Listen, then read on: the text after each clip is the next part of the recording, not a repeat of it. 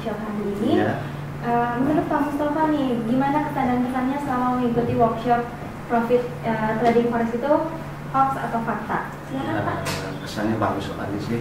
Saya lebih nyaman untuk eh, trading di IMF gitu, ya, Pak IMF, karena edukasinya yang bagus. Edukasinya Iya. ya Pak ya. Karena edukasinya bagus, jadi trader itu kan lebih lebih enak, lebih nyaman gitu.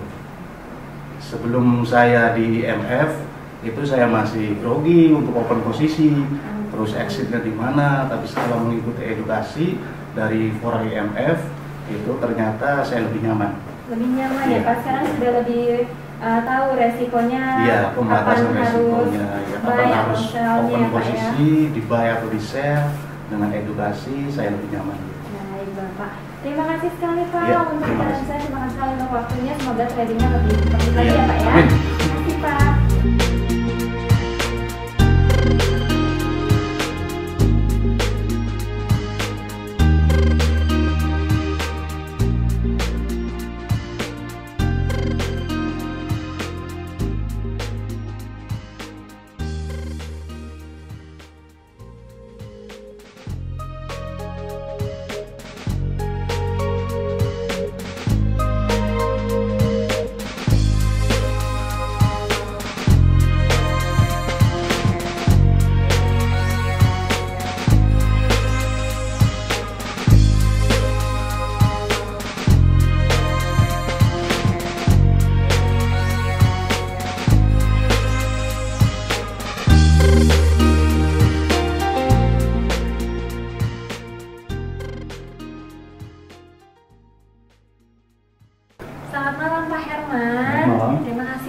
Nih Pak. Sebenarnya saya mau tanya, apakah betul kalau di IMF itu kita diharuskan untuk ikut edukasi terlebih dahulu sebelum kita melakukan deposit untuk trading Pak?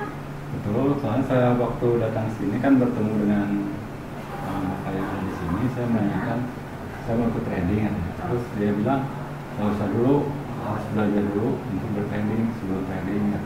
Oh. Saya ikut dulu, dulu, karena saya lagi pelajari dulu tentang tradingnya. Iya, kalau hari ini Bapak mengikuti workshop juga kan ya Pak ya? Betul. Kesan dan kesannya nih Pak selama setelah mengikuti workshop ini apa nih Pak? Pesan dan pesannya uh, workshop ini bagus untuk para pemula bisnis ini untuk mempelajarinya sehingga lebih uh, paham tentang bisnis ini dulu sebelum terjun langsung menjalani bisnis ini. gitu. Pak. Harapan ke depannya nih Pak, apa nih? Apakah Bapak ingin mengikuti lagi workshop seperti ini atau bagaimana?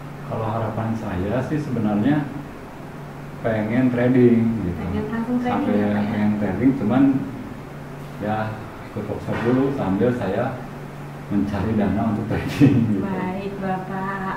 Mungkin itu saja. Terima kasih sekali Terima nih, Pak kasih. untuk waktunya. Terima kasih, Selamat sama-sama. malam, Pak Herman.